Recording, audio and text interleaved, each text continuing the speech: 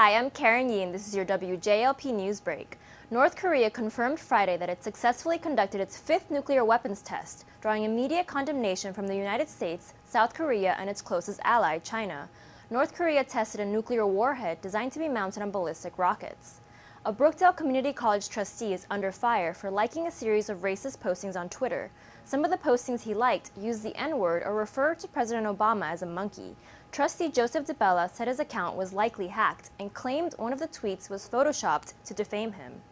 Wells Fargo Bank was slapped with a $185 million penalty after employees secretly opened more than a million unauthorized accounts as a way to boost sale numbers.